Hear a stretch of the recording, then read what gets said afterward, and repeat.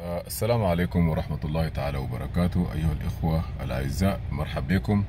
اليوم عندنا سيارة فوكس 2014 لكن هذا لكل الفورد فوكس من 2012 إلى 2017 18 بال ignition switch.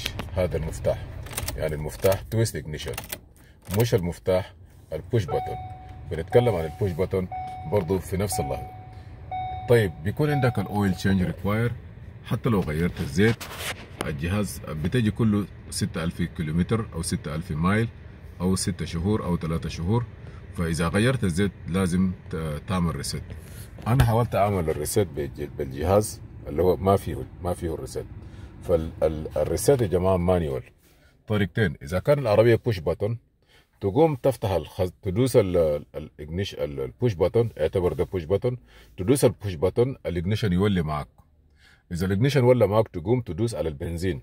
تدوس على البنزين هناك شديد لحد النهاية. شفت؟ تدوس على البنزين تحت اول تكون دايس على البنزين وتدوس على ال ignition switch وتكون دايس لجوا السيارة ما بتدور معك ما تدوس ال brake بس ال igni.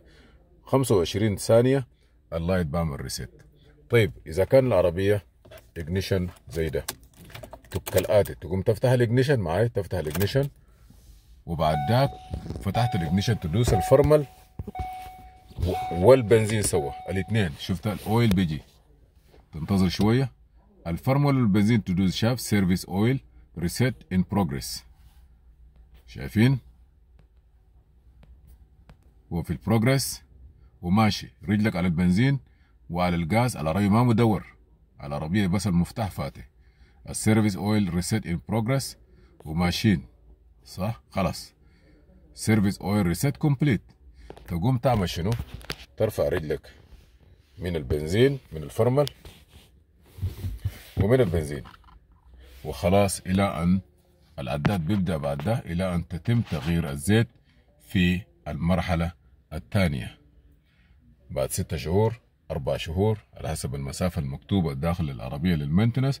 بولع معك تاني بذكرك أن يا أخي زمن تغيير الزيت قد أتى. وكل الشكر يا جماعة والتقدير.